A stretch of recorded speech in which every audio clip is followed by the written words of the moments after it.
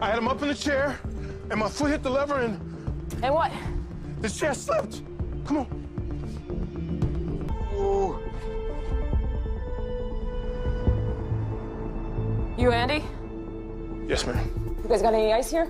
In the back. Okay, grab a plastic bag, fill it up with ice, and bring it to me. Okay. How old is that child that you gave it all up for now?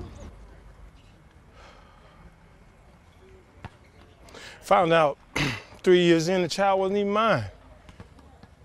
The son I thought was mine needed blood. I wasn't even a match. I need y'all to be smart. I need y'all to be vigilant. These dudes are dangerous, they're armed, and they don't give a shit about killing you. Go in, come out safely. Everybody on that list in handcuffs.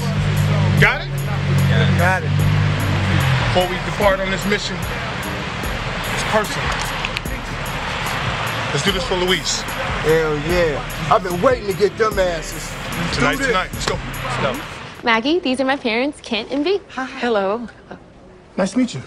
Your daughter is great. She just loves working here. She can't stop talking about the patients, how much she's learning. Okay, Mom. What? You do. Ah, parents, such an embarrassment. Oh, come on. Let me show you where the ambulance is coming. I got a spot on my security detail. no, I know it's hard getting by on that cop pay. You know what? I'll pass. Mm-hmm. Just know that I'll be able to put the jury on when you slip up, councilman.